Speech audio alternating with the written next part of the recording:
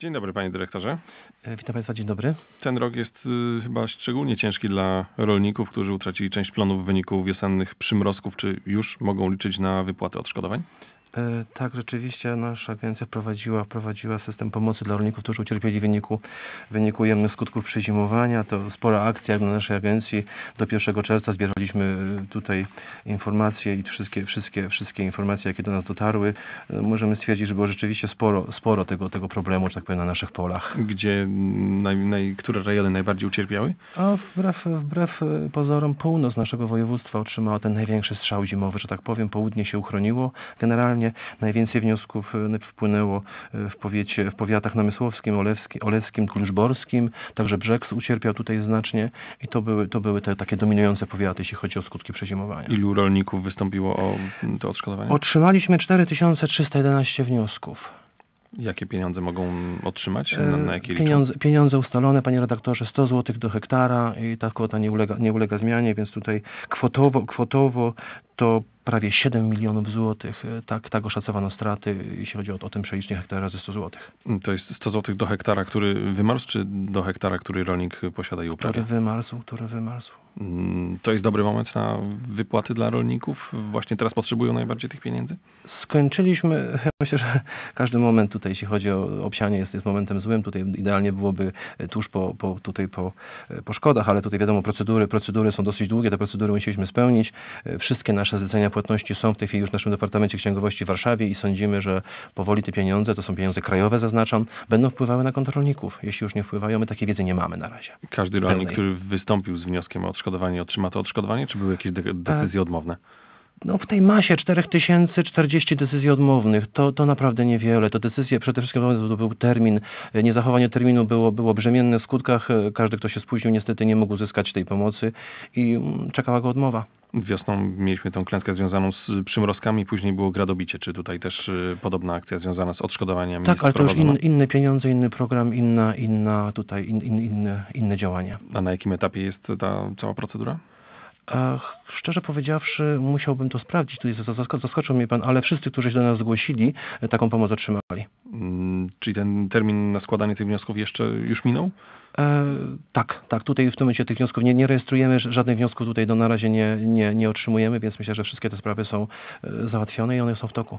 Panie dyrektorze, dzisiaj wieś to nie tylko rolnictwo, to także przedsiębiorczość, czy jednak głównie rolnictwo? No właśnie chcemy zmieniać to. 10 sierpnia spotkaliśmy się w dużym gronie na, na zaproszenie pana marszałka w Urzędzie Marszałkowskim. O tym rozmawialiśmy, o nowej strategii 2.20. Czekają nas nowe pieniądze, no, nowa pe- perspektywa tutaj, jeśli chodzi o środki unijne. Mamy nadzieję, one wpłyną w takiej samej, a nawet większej wysokości. I o wsi rozmawialiśmy, o tym całokształcie, o obszarach wiejskich, o tym, co nas czeka, co chcielibyśmy, jak, jak tą wieś widzimy. I mamy fajne różne pomysły, różne środowiska, więc różne, różne pomysły. To ta nowa strategia województwa opolskiego, jakie miejsce widzi dla wsi?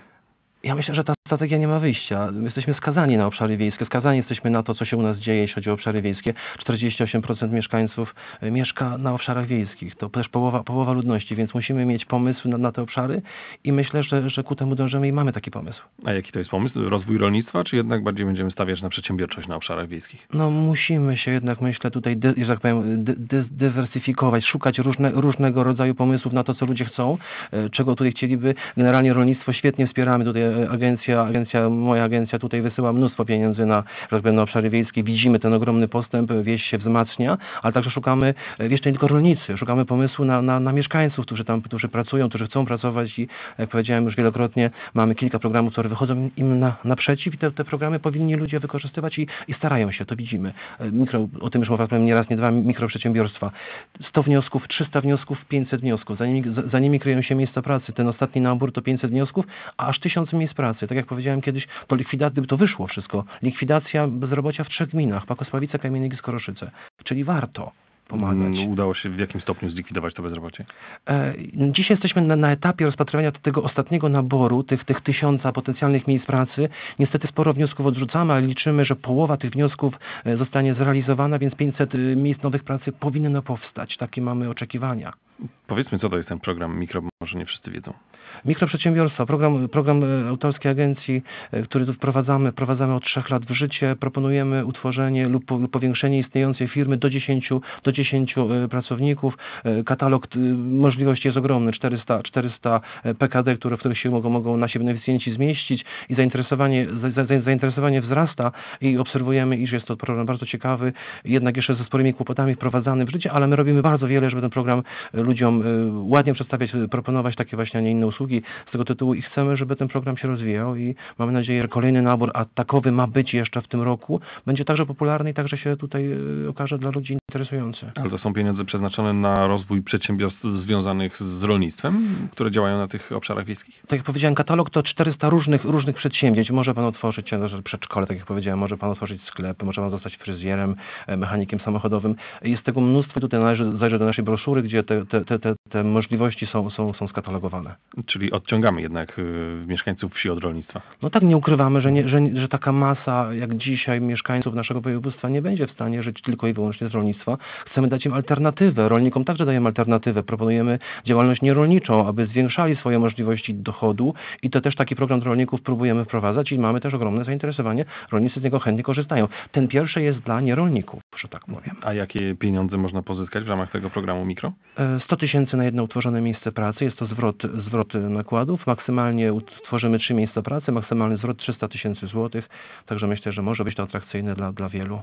To są pieniądze, które otrzymuje się po fakcie. Najpierw trzeba zainwestować swoje. Tak, tak, trzeba zainwestować swoje. Przyjęto zasady, ja się z nią zgadzam, że szukamy tych najbardziej aktywnych, najlepszych. To jest momentami wielki kłopot dla beneficjentów, chociaż istnieje także szansa za- zaliczkowania, więc tutaj e, pewne możliwości wsparcia także tutaj tego logistycznego są, ale tak, to, to jest refundacja kosztów poniesionych, kwalifikowanych. No to pewnie jest jednak sp- spora bariera, bo trzeba mieć ten kapitał na to, by zainwestować w rozwój własnej firmy. Bezsprzecznie. Liczy się bardzo dobry pomysł, a myślę, że bardzo dobry pomysł obroni się w wielu miejscach, także być może w bankach, być może w innych miejscach, które mogą pomóc zdobyć pieniądze i tutaj, a także kapitał, no, no tak oczywiście. Czyli nie trzeba mieć y, gotówki w kasie, można też y, sfinansować tą inwestycję, pożyczając pieniądze na przykład w bankach czy w My funduszach. chcemy, aby nasz beneficjent poniósł wydatki, poniósł je, e, rozliczył, a wtedy my uczciwie zwrócimy mu po- poniesione nakłady.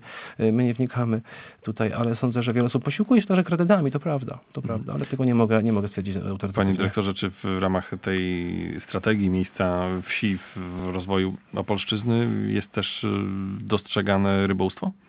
Oczywiście, Opolszczyzna rybołówstwem stoi. 9% krajowej produkcji karpia to właśnie stąd. E, Obserwujemy ogromny rynek tutaj zainteresowania, ogromny ruch, jeśli chodzi o, o, o program, który dotyczy rybołówstwa na Opolszczyźnie. Świetnie się rozwija, mam nadzieję, że będzie rozwijał się jeszcze lepiej. I na święta będziemy jeść karpia z Opolszczyzny. To chyba nie kłopot. Niemodlin słynie w całej Polsce ze swojego karpia, więc tutaj drobna reklama, myślę, że się nie obrażą. Tak, tak, to się naprawdę fajnie rozwija, jest ogromne zainteresowanie. W ogóle teraz pytają ludzie nas o inwestycje około, około rybackie, szukają pieniędzy na, na zagospodarowanie w swoich stawów, swoich cieków wodnych. Jest to fajny temat i myślę, że, że trzeba go też wspierać bardzo mocno. To widać, jeśli chodzi o tutaj gospodarkę województwa, bardzo mocno. Bardzo dziękuję za rozmowę. Również dziękuję. Mirosław Borkowski, zastępca dyrektora Polskiego Oddziału Agencji Restrukturyzacji i Modernizacji Rolnictwa był moim gościem.